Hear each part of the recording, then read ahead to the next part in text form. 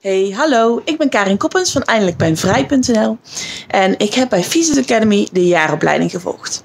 En daar hebben wij mega gave en mooie inzichten en kennis verkregen die ik nu samen met coaching en fysiotherapeutische behandeling in een programma toepas bij mensen met chronische klachten.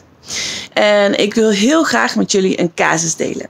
Dat gaat over een man, ongeveer 50 jaar geloof ik, en die kwam naar mij toe met um, nekklachten en bovenrugklachten en wat spanningsgerelateerde klachten.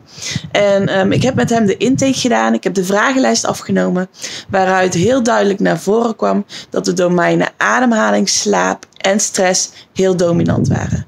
Hij sliep namelijk ook enorm slecht. Uh, hij werd vier, vijf keer per nacht wakker. En naast wat werkgerelateerde stress ademde hij eigenlijk ook alleen maar door zijn mond. Dus naast het losmaken van wat spieren en, uh, en een stukje coaching op het gebied van stress, heb ik hem vooral naar huis gestuurd met ademhalingsoefeningen. Dus voor het slapen gaan, hele simpele oefeningen.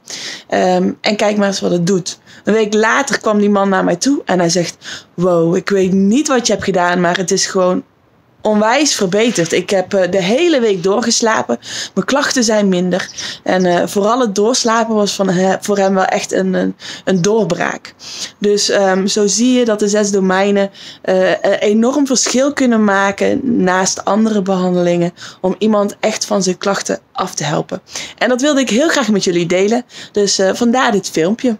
Hele fijne dag nog en wie weet tot ziens.